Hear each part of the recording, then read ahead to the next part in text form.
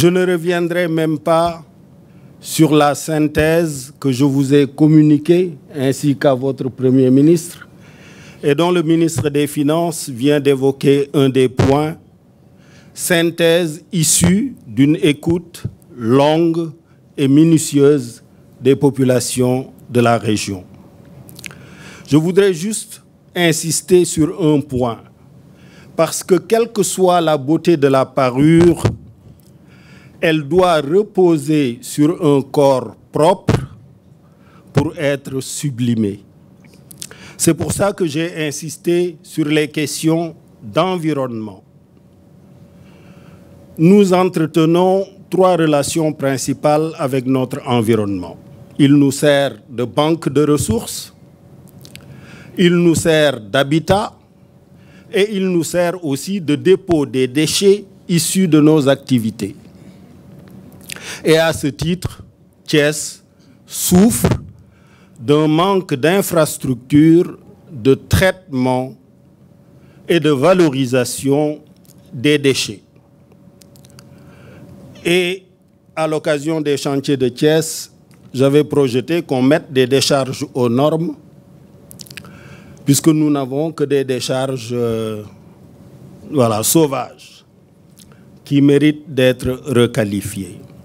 Thiès est également dans une cuvette entourée de plateaux, desquels nous recevons les eaux de ruissellement, drainant au passage beaucoup de sable.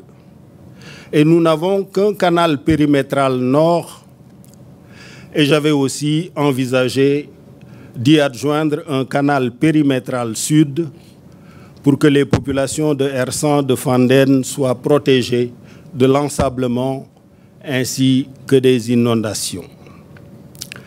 La zone des Niayes, où coexiste une forte compétition entre les exigences de l'habitat d'une population en croissance, les activités industrielles, notamment minières, et aussi la production horticole que rappelait le gouverneur, qui contribue à hauteur du tiers de la production horticole nationale.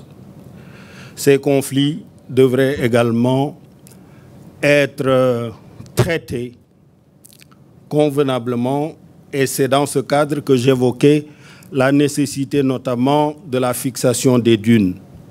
Vous avez déjà, Monsieur le Président de la République, rendu à Sali sa plage. Et quand je m'y suis promené, des jeunes m'ont interpellé pour vous adresser leurs remerciements. Parce que maintenant, sur des kilomètres, on peut marcher sur une plage extrêmement large